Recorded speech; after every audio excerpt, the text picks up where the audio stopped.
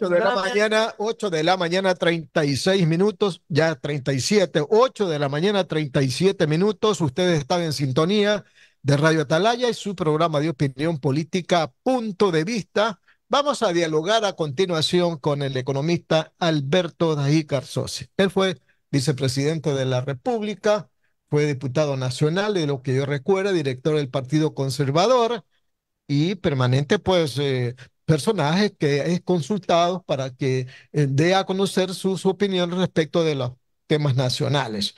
Una de las cosas de lo que yo siempre recuerdo del economista Dajic es que a lo largo de su vida ha insistido en el tema de los acuerdos o diálogos nacionales.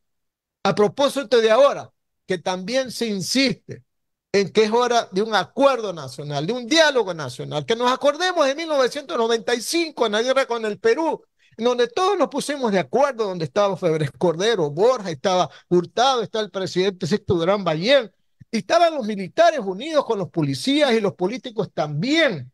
Y la gente se pregunta, ahora que estamos en otra guerra, ya no de la Perú, sino la guerra por la inseguridad y la violencia, ¿es posible, economista tener ahora sí un acuerdo nacional sobre una base específica, la paz de la República? Buenos días, economista.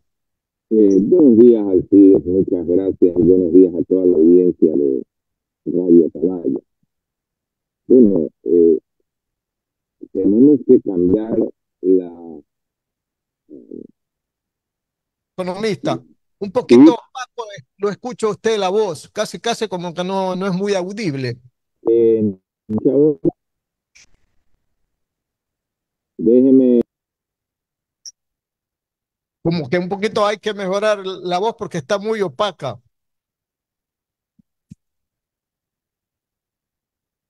A ver si podemos nuevamente repetir para ver cómo estamos. Está cerrado su, su micrófono. ¿Cómo me escuchan ahí? Ahí está. ahí está perfecto. perfecto, ahora sí.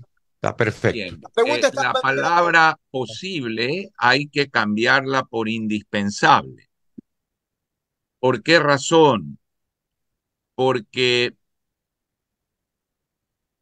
eh, eh, una guerra, estamos en un estado de guerra, hace rato que estamos en un estado de guerra, que ha sido, eh, a mi manera de ver, acertadamente calificado, llamado por el gobierno nacional y por lo tanto declara la guerra a grupos que ya no son delincuenciales, son grupos que amenazan la territorialidad, el control del Estado sobre varias zonas del país y que por lo tanto son una amenaza a la integridad y a la estabilidad del Estado. Una guerra no se puede ganar sin lo que se llama poder nacional. ¿Qué es el poder nacional? Es un conjunto de factores que tienen que darse para tener un éxito en una guerra. En primer lugar, Fuerzas Armadas, fuerzas policiales absolutamente sujetas al poder civil. La conducción de la guerra, la conducción política de la guerra, corresponde única y exclusivamente al poder civil constituido, al gobierno nacional y a los otros poderes del Estado, pero fundamentalmente al gobierno nacional.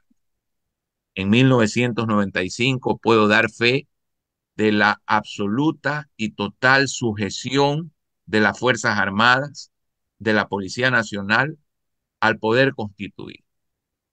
Entonces, a esa identidad o sugestión de las Fuerzas Armadas al poder civil hay la contraparte del respeto que tiene que tener el poder constituido a las decisiones técnicas y tácticas y a las estrategias militares de los eh, eh, mandos militares que el poder civil lo tiene que respetar.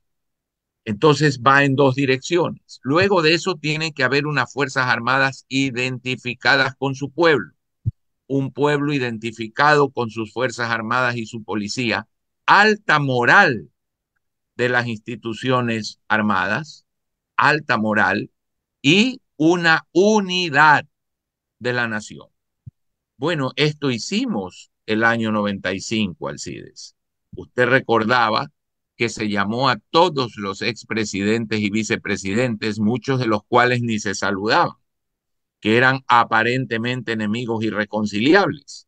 Y todos aceptaron reunirse y dar el apoyo a la causa de la patria. Se llamó a los medios de comunicación para explicarles. El Consejo de Seguridad Nacional se declaró en sesión permanente y a través del Consejo tanto el presidente de la Asamblea como el presidente de la, de la función judicial, que eran miembros del Consejo, estaban perfectamente informados. Y el presidente y vicepresidente de la República discutíamos los temas militares con el alto mando militar, el ministro de la Defensa y los altos mandos militares. Le ganamos entonces la guerra a un país con mucho más armamento porque constituimos el poder nacional que en el Perú no hubo, porque nuestras Fuerzas Armadas tenían una alta moral que las Fuerzas Armadas peruanas no, no la tenían. El mejor ejemplo para entender esto, para que la audiencia lo entienda, es la guerra de Vietnam. Si ustedes comparan el poderío militar de los Estados Unidos frente al poderío militar del del Vietcong, la diferencia era infinita. Y Estados Unidos no pudo ganar la guerra. ¿Por qué? Porque no hubo poder nacional. No hubo una identidad del pueblo con esa guerra. El pueblo no quería esa guerra. El gobierno, por lo tanto, se distanció del pueblo en ese objetivo. Las Fuerzas Armadas tenían una moral baja porque no entendían por qué tenían que estar peleando esa guerra. Y el resultado fue una derrota del superpoderoso, el más poderoso ejército del mundo, el las más poderosas fuerzas armadas del mundo, frente a un grupo de guerrilleros que finalmente ganaron la guerra. Entonces, hoy tenemos para vencer en esta guerra interna que constituir un poder nacional que todavía no está integrado un poder nacional que tenga el apoyo indudablemente del ciudadano, de la sociedad civil, y que se complemente con el apoyo del resto. Pero el aporte de la sociedad civil, aparte del aporte que deba, de tener también amigos de los gobiernos extranjeros, este aporte de la sociedad civil debe ser tangible, economista, no solamente arengar y no solamente decirle a los que a los militares cuando pasan por las calles adelante adelante mi, mi, mi, mi soldado sino que hay que aportar también pues economista bueno en el año 95 usted recordará que eh, eh, eh, tuvimos que pasar y el Congreso aprobó un par de impuestos em, temporales para financiar el gasto de la guerra y la gente lo pagó con todo gusto eh, y, pues sí, eh, los recursos tienen que venir y alguna cosa deberá hacer el gobierno. Un gobierno que acabó con atrasos acumulados del presupuesto de 4.500 millones de dólares,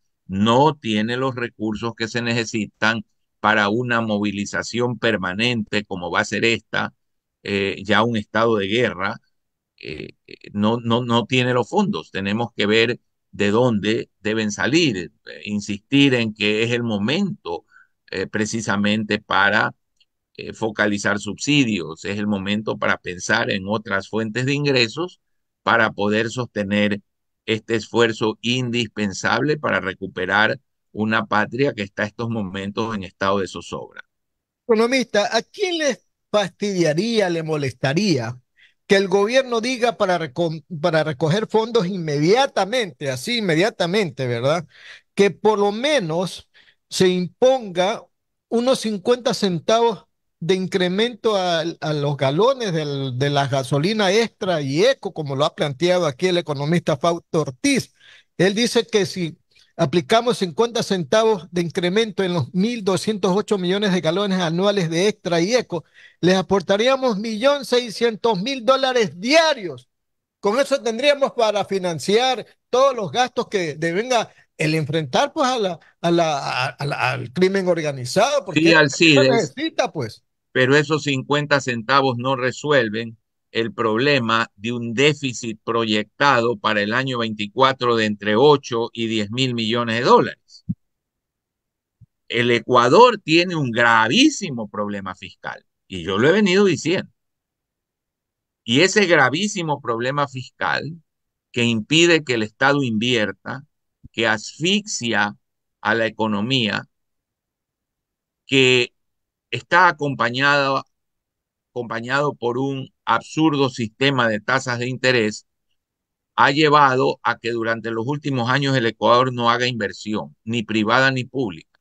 Y sin inversión, ¿cómo va a generar empleo? Y si no hay empleo, hay pobreza. Y si hay pobreza, usted tiene el caldo de cultivo más extraordinario para la delincuencia. Entonces tenemos que entender que hay una guerra militar y hay una guerra económica contra la pobreza y la guerra económica contra la pobreza no podrá ganarse mientras el país siga regalando 10 mil millones de dólares al año en subsidios, entre los cuales está el de los combustibles y el del sistema de pensiones. Los sistemas de pensiones del Ecuador tienen y deben ser reformados porque son insostenibles. No están siendo una fuente de ahorro para sostener la inversión de largo plazo del país la seguridad social, lo hemos dicho muchas veces, está actuarialmente quebrada. Es el momento de entender que estas políticas equivocadas, estas gravísimas deficiencias estructurales han generado pobreza y que la pobreza da como respuesta delincuencia. Entonces no podemos creer que la solución es solo militar.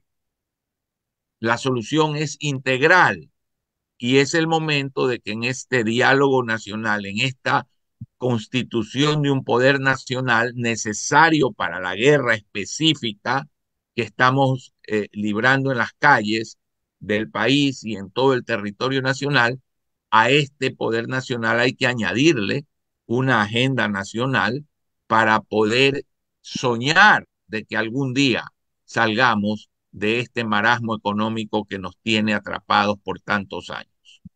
8 de la mañana, 49 minutos, Radio Atalaya y su programa de opinión política, punto de vista. Estamos dialogando con el ex vicepresidente Alberto Dajic. Las preguntas con mi compañero Juan Carlos Sánchez Arosemena. Adelante. Gracias, mi querido Alcide, buenos días. Economista Dajic, muy buenos días, qué gusto verlo otra vez por aquí, por la, por la pantalla y en los micrófonos de la radio.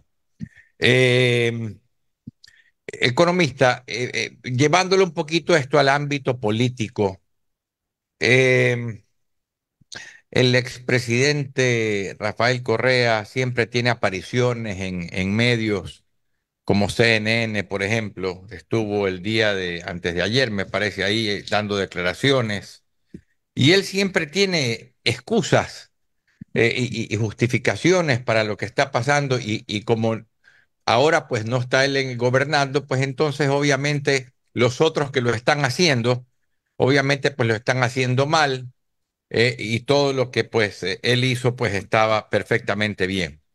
El caso Metástasis ha señalado a, muchas de las figuras de eh, Revolución Ciudadana, algunas por lo menos, vinculadas a todo el tema este del terrorismo, del narcoterrorismo, abogados vinculados a, al ex vicepresidente Glass, en fin, el, el, el ex ministro Serrano, siempre con las, con las primicias de lo que está pasando en las cárceles y en el sistema penitenciario del país y con la Policía Nacional, queda claro que él tiene, pues obviamente, eh, vías de información privilegiadas que ni siquiera las llega a tener aparentemente el gobierno de turno.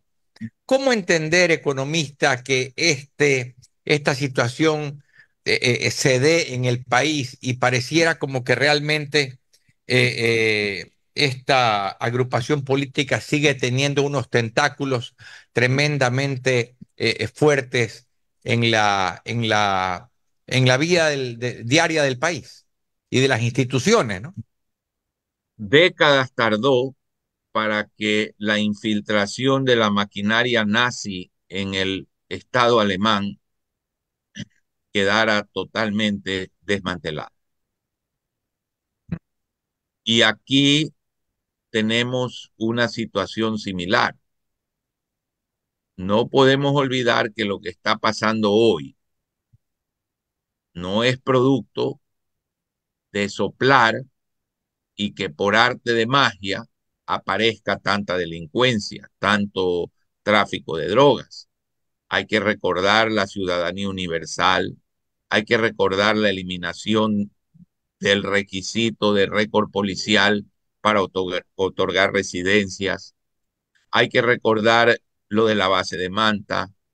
Hay que recordar quienes financiaron probadamente la campaña electoral.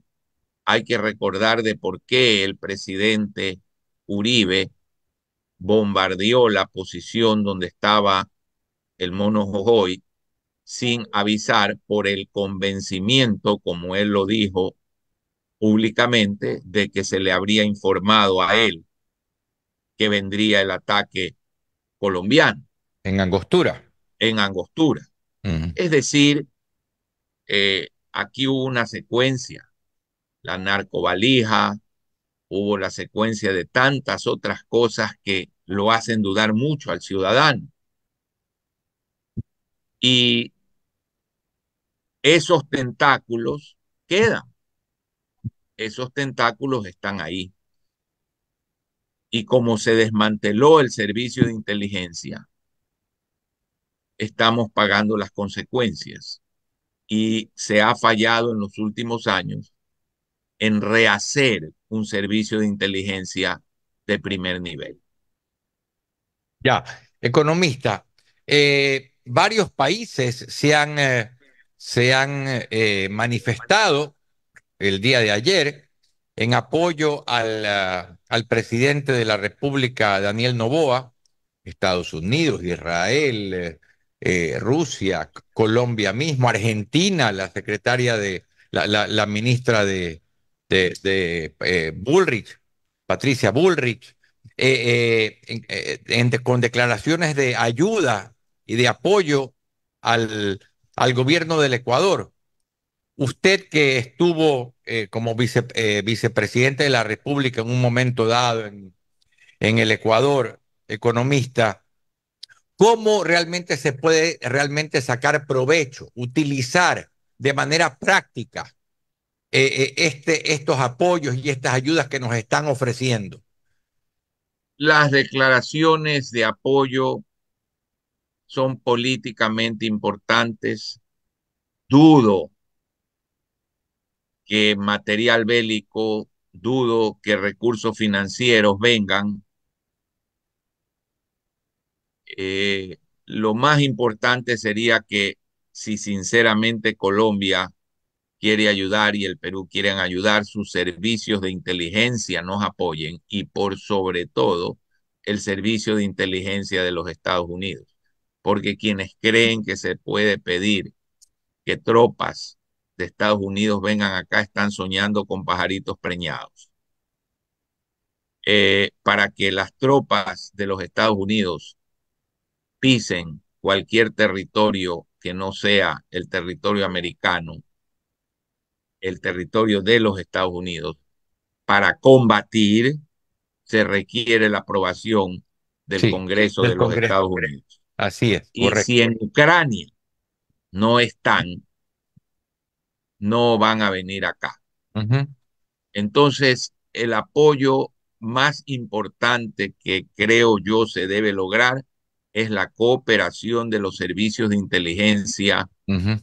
de Estados Unidos, de México, del Perú y de Colombia, porque en Colombia se produce, a través del Perú vienen las armas, los Estados Unidos tienen un servicio, una central de inteligencia del más alto nivel y México es el país cuyos carteles de la droga están vinculados a las pandillas, las agrupaciones terroristas locales. Ya, podríamos, podrían eventualmente mandarnos, eh, por ejemplo, eh, eh, gente adiestrada en ciertos temas, por ejemplo, protección para, para figuras importantes del, digamos, o, miembros importantes del Estado, la Fiscalía, el mismo, la misma Presidencia de la República, ciertos jueces, fiscales, podrían eventualmente mandarnos personal que, eh, eh, eh, pueda entrenar, por ejemplo, y capacitar a nuestros, a nuestros miembros de, de GOE, de GIR, para eventualmente poder ser más efectivos y eficientes en la protección de estas personalidades economistas. El GOE y el GIR y la UNACE son unidades de muy alto nivel, muy capacitadas. Nada impide que, por ejemplo, Colombia, que tiene muy buenas fuerzas policiales, nos dé apoyo, Chile igual, eh, y sobre todo, creo yo que lo más importante es la información. Lo que los servicios de inteligencia sepan y puedan contribuir con el Ecuador. Pero todo eso sí es posible. Economista, hay una realidad, ¿no? Nosotros aquí en el Ecuador no podemos resolver los problemas de inseguridad si no resolvemos los otros problemas. Por ejemplo, el económico. Por ejemplo, el tema del empleo. ¿verdad? Por ejemplo, el tema del seguro social. Por ejemplo, el tema de los subsidios. No sabemos si es que en este momento es óptimo la propuesta que ha hecho, por ejemplo, por ejemplo Augusto de la Torre, que ya todos, todos conocemos, en el sentido de que hay que, bueno, o, eliminar o focalizar los subsidios. Habla también de un incremento del IVA del 12 al 16%. Y muchos dicen también, ¿por qué no utilizamos parte de la reserva monetaria?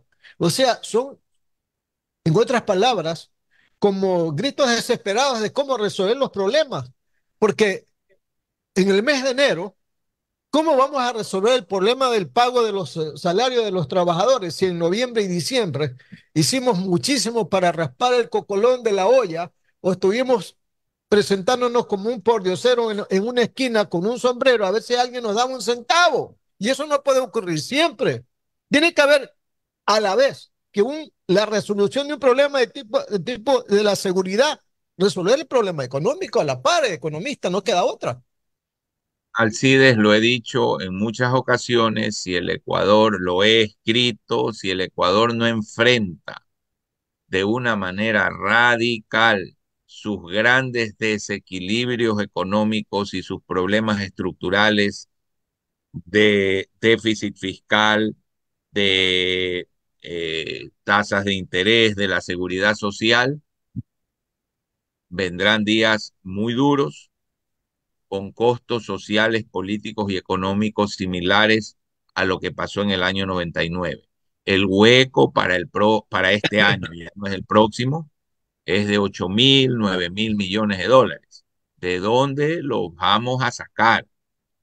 Tiene que haber una corrección de estas cosas y tiene que haber un verdadero estudio de flujos para determinar flujos no de caja, de operación del sector público para determinar qué entidades y qué organismos del sector público se pueden eliminar e ir reduciendo la grasa.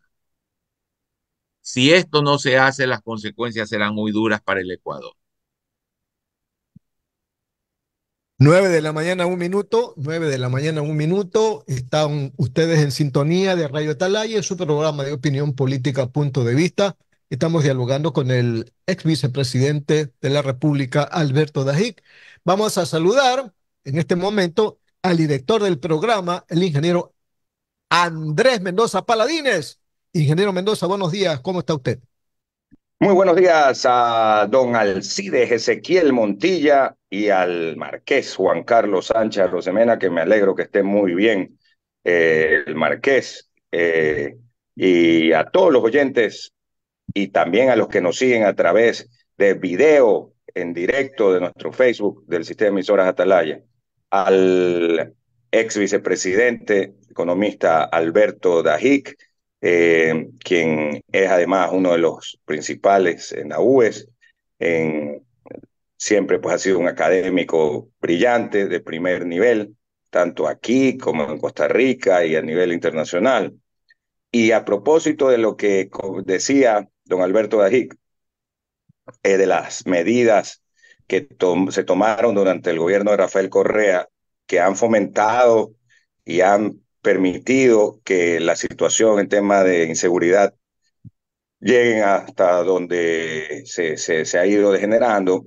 Eh, también recordemos el tema de la tabla de, de tabla de consumo de drogas, Alberto, eh, el asunto del porte de armas, de la eliminación del porte de armas, eh, que fueron dos cosas, además de lo de la base de manta y las que usted mencionó, porque son algunas, pues la verdad. Entonces, que, que realmente eh, no solo que no ayudaron, sino que no ayudaron en la seguridad, me refiero, sino que más bien ayudaron para que estos grupos se puedan realmente meter en el país.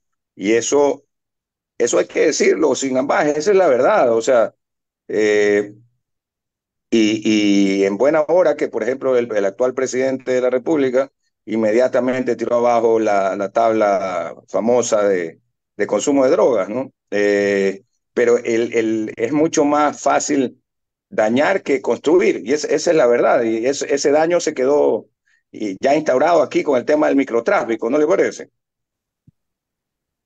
Obviamente que mucho más fácil es destruir. Construya un edificio de 30 pisos y mire cuánto tiempo le toma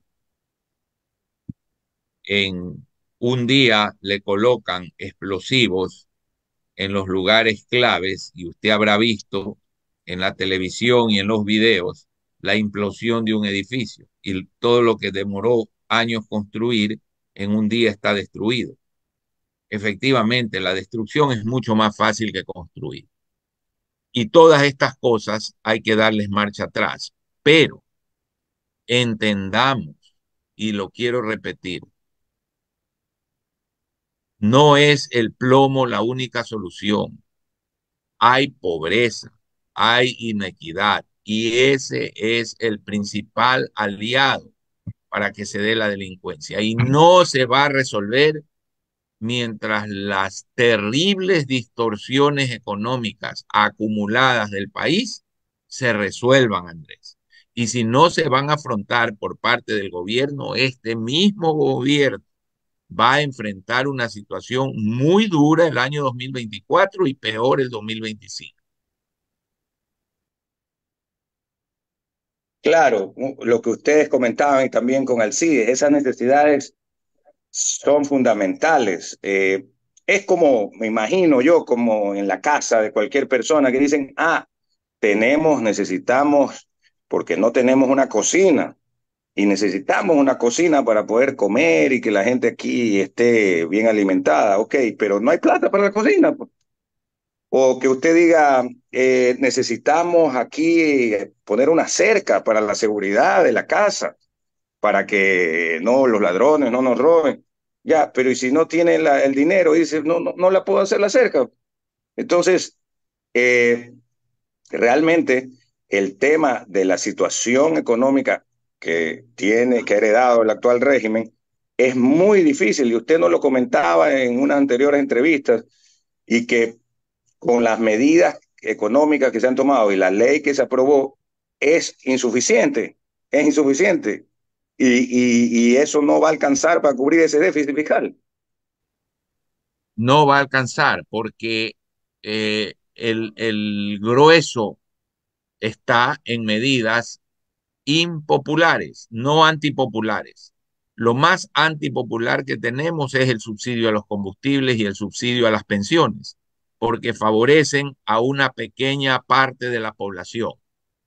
Entonces, si no enfrentamos esos temas, si no reducimos grasa, que también es impopular porque hay que sacar elementos del sector público, si no eh, aumentamos eh, otras fuentes de ingresos, no es sostenible la economía ecuatoriana. Ahora, en materia de, estadísticas, y esto volviendo a la parte de la, de, del, del crimen, durante el gobierno de Rafael Correa, cuando ya son las nueve con seis minutos, nueve con seis minutos en Atalaya, durante el gobierno de Rafael Correa, los índices de muertos por cada 100 mil habitantes son muchísimo menores que los que se dan durante el gobierno de Lenín Moreno y ni qué decir durante el gobierno de Guillermo Lazo, donde se disparan de una manera realmente impresionante. Eh, ¿A qué se debe esto? Porque claro, estadísticas salen en la curva y son estadísticas, Alberto. Andrés, cuando se comienza a dar cianuro en pequeñas dosis continuas a una persona, mm. va poco a poco haciendo su efecto hasta que al final es devastador. Lo que tenemos de delincuencia, el gigantesco crecimiento de estos grupos terroristas, no es producto de un día, no es producto de un mes, de un año, es de muchos años que se han ido fortaleciendo. Entonces, la permisividad y hasta en ciertos casos complicidad de los años 2007, 2017, empiezan a surtir efecto en forma creciente del 2017 en adelante y llegan a su máxima explosión con los eventos que hemos visto en estos días. Eh, eventos realmente, eh, pues que tristes, no solo tristes, sino que nos han dejado eh, traumatizados a los ecuatorianos, porque esa es la palabra. es, algo impresionante. Y, tenemos incluso, como en el caso de Juan Carlos, personas que los vivieron de primera mano. Eh, vamos con las preguntas a propósito de nuestro querido compañero, el ingeniero Juan Carlos Sánchez Rosemeno. Ya, gracias, mi querido Duque. Eh, economista Dají, eh, se presentaron por parte del, del gobierno nueve nuevas preguntas de la consulta popular. Las, las primeras nueve, pues, de alguna manera tuvieron bastantes críticas de parte de la opinión pública, de expertos en, la, en las diferentes materias. Las segundas preguntas aparentemente tienen temas más interesantes o más útiles, útiles más, eh, más importantes realmente para beneficio de lo que sería el Estado ecuatoriano. ¿Cuáles preguntas de esas usted rescataría y considera realmente importantes y cuáles eventualmente considera que eh, no tienen pues quizás mayor trascendencia, mayor importancia. Hoy a las 10 de la mañana voy a estudiar con un constitucionalista de primer nivel Allá. las preguntas adicionales, porque yo tengo una preocupación, es el uso y abuso de las consultas. Hemos uh -huh. tenido 12 consultas con la nueva constitución y pregunten si el país ha cambiado con las consultas. ¿De uh -huh. qué sirven las consultas si yo mantengo distorsiones económicas salvajes que destruyen la posibilidad del crecimiento económico? ¿De qué sirven las consultas si no voy a reducir el Estado? ¿De qué sirven las consultas si voy a mantener los subsidios? ¿De qué sirven las consultas si no voy a reformar la seguridad social? No sirven de nada. Entonces, eh, yo he estado estudiando con serenidad algunos de los problemas que hay, como por ejemplo que se pueda volver a preguntar lo mismo en un periodo tan corto de tiempo. Eso le quita total credibilidad a una consulta. Si yo pregunto en una consulta, ¿debe Radio Atalaya funcionar? y la gente dice sí, no puedo a los meses o a escaso tiempo volver a preguntar, ¿debo cerrar Radio Atalaya? No, ya la gente se pronunció que sí, que debe estar Claro. ahí. Entonces, ah, la, la validez de la consulta popular queda muy disminuida cuando se vuelve a preguntar lo mismo en un corto periodo de tiempo. Bueno, ¿por qué no volvemos a preguntar lo del Yasuní, pues, Claro. que está afectando o puede afectar en 500 millones de dólares a un país que no tiene plata y que Claro. afecta en más de mil millones de dólares a un país que ha perdido la mitad de la reserva monetaria desde el año 22 hasta la fecha. ¿Por qué entonces no volvemos a preguntar eso? Claro. Ahí es donde estamos cosechando el abuso de las consultas populares. Ya, economista, eh, hay una pregunta puntualmente, bueno, antes que eso, también el hecho de que hayan, hasta el momento son 18, 9 más 9, 18 preguntas en una consulta popular, ¿no?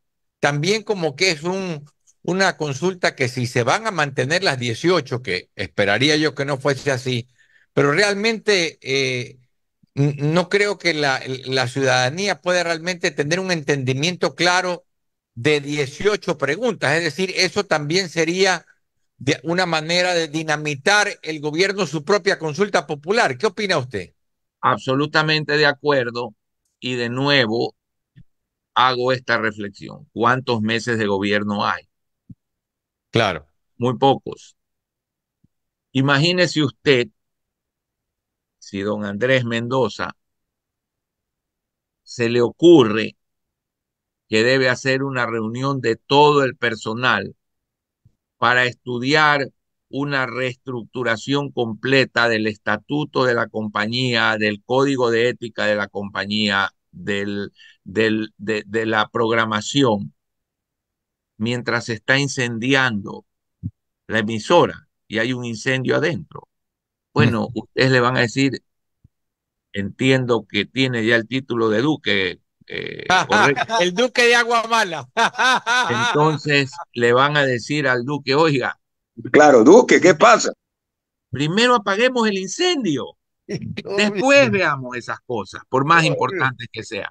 Aquí hay un incendio y ese incendio hay eh, que ese incendio es que no hay plata ni para pagar los sueldos. Claro, Vamos a concentrarnos, a gastar la energía, a enfocarnos en la consulta y el gobierno va a enfocarse en la consulta y no en resolver el problema de fondo. Y eso es muy crítico. Economista, ¿cuál es su criterio, su pensamiento respecto a esta venta de oro de las reservas internacionales que realizó el gobierno central hace unos días atrás? Nos A ver, aquí- beneficia, estamos realmente, porque ese dinero lo que está haciendo es, se lo ha vendido, pero es para pagar, eh, eh, digamos, gasto de burocracia, eh, gasto corriente, que, deudas que se tenía, pero estamos realmente, otra vez, es venta de reservas internacionales. ¿Es correcto? ¿Es prudente lo que se ha hecho? Expliquemos, expliquemos esto, La reserva monetaria tiene oro y tiene oro en una proporción mayor a la que la gran mayoría de países tienen. Ujú, El oro es un activo especulativo. ¿Qué quiere decir esto? Que así como puede estar a 2000, se puede caer a 1000. Claro, Y ustedes no quieren tener en la reserva un activo que se pueda desplomar de esa manera. Entonces, es lógico buscar una proporción de oro racional. ¿Qué ha hecho el Banco Central? ¿Ha reducido la reserva? No, no la ha reducido. ¿Por qué? Porque lo tenía contabilizado en X por onza el valor de mercado está en X más algo. Claro. Vende el oro y ese algo se transforma en utilidad. Entonces, como en la contabilidad del banco, el cash lo deja en el Banco Central y la utilidad, lastimosamente, la utilidad se la da al Estado, la reserva no ha caído ni va a caer. Y vender el oro a mí me parece correcto, pero lo que me gustaría es que esa utilidad vaya a fortalecer al Banco Central que precisamente tiene todavía un hueco importante de liquidez frente al dinero que hay depositado en el Banco Central. Entonces, la medida de vender el oro eh, es correcta, eh, no baja la reserva, aún cuando le entreguen plata al gobierno como utilidades, siendo el gobierno el, el accionista, el dueño del Banco Central. Pero en el fondo, ¿qué estamos haciendo? Vender el oro y darle al banco la utilidad al, gobierno para que siga subsidiando a los contrabandistas. 253 millones fueron las utilidades, economistas. Entonces, en la medida en que se siga manteniendo subsidios, si yo le entrego bonos a la seguridad social, es para subsidiar. Si yo le entrego bonos a, a, a, los bancos, es para subsidiar. El gobierno se endeuda para subsidiar y subsidiarnos a los pobres, pues, ¿no? Entonces, esto es demencial. Y ahí es donde uno dice, ¿cómo es que no atacamos este problema de verdad? En todos los países que están dándonos ayuda o dicen que nos van a dar ayuda o han dado apoyo al Ecuador, mire cuál de esos países tiene el precio de los combustibles que hay en el Ecuador. Las nueve de la mañana, 18 minutos, nueve de la mañana, 18 minutos, Radio Atalaya y su programa de opinión política, punto de vista. Ingeniero Mendoza, usted tiene la última palabra. Parece que no, no está comunicado con nosotros. En todo caso, hay una última inquietud por parte mía, eh, Alberto. En la mañana, yo hago un recorrido antes de llegar a la radio en algunas partes de la ciudad. Y siento como ciudadano incertidumbre, porque no sabemos si en este momento debemos de continuar en el estado que iniciamos ayer, que prácticamente la gente no salió de sus casas. O sea, la ciudad sigue medio paralizada. Vemos que los comercios, la mayoría sigue cerrada hay una calma aparente, que parece que fuera calma o no parece que fuera calma. No, no sabemos si esta es una vida normal o no. Nadie nos dice volvamos nuevamente al trabajo. Unas instituciones públicas están trabajando, otras no. Entonces la gente se pregunta, bueno, ¿quién informa del país? Vamos otra vez adelante, volvamos a la normalidad. No, esperemos hasta el día lunes. No sabemos, nos estamos en este momento consumiendo por la incertidumbre, Alberto. ¿Qué hacemos? Oriéntanos, díganos algo. Cuando hay un estado de guerra, la comunicación oficial debe ser filtrada, orientada por las Fuerzas Armadas, que son con el Ministerio de Defensa quienes están al mando, lideran el plan de la guerra y en esa información debería orientarse a la ciudadanía. Pero es muy importante un concepto general. La voluntad de vencer se fortalece cuando nos sobreponemos y les hacemos ver a quienes tratan de impedirnos vivir en nuestra patria que vamos a vivir en nuestra patria y vamos a salir a hacer lo que debemos hacer hay que armarse de optimismo, de amor al país y seguir trabajando, seguir produciendo, seguir avanzando, que es la mejor forma de apoyar para que el país salga adelante. Ingeniero Mendoza, usted tiene la última palabra. Muchísimas gracias, Alcidito.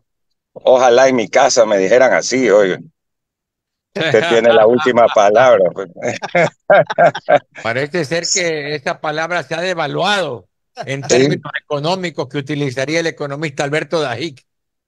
Parece que, parece que sí, oiga. Parece, como usted dice, se ha devaluado en términos económicos, que, son los, que son los reales, pues, ¿no? Claro. Así es que para agradecerle, realmente un lujo poderlo tener eh, al economista Alberto Dají Garzosi, eh, compartiendo con nosotros su experiencia, su conocimiento y eh, criterio que siempre también se basa no solamente en conocimiento, sino en un sentido común extraordinario. Así que Alberto, que tenga muy buen día dentro de lo que se puede en esta semana que ha sido y, y sigue siendo, pero empezó pues de una manera atroz para nosotros los guayaquileños y ecuatorianos. Un gran abrazo a todos ustedes y confiemos en nuestro país amémoslo y tratemos de sacarlo adelante todos. Un gran abrazo. Gracias, economista. Gracias, Alberto. Así es. Así es. Nos vamos a ir a la pausa comercial con, por supuesto, el sistema emisoras Atalaya, oiga, que la radio que cumple 80 años de estar junto al Ecuador, junto no solo a la democracia del país, sino junto a toda la población ecuatoriana. Este diciembre cumpliremos 80 años